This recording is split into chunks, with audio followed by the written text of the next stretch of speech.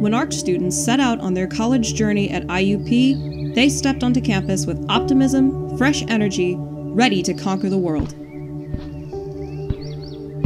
Conquering challenge after challenge, day after day, semester after semester. IUP students are resilient. They find their way. But sometimes, like everyone, they need a little help.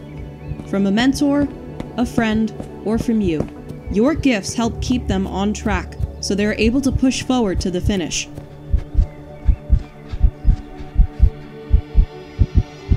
Your gifts make a difference in the life and the education of IUP students. Make a gift to the IUP Student Assistance Fund on Giving Tuesday.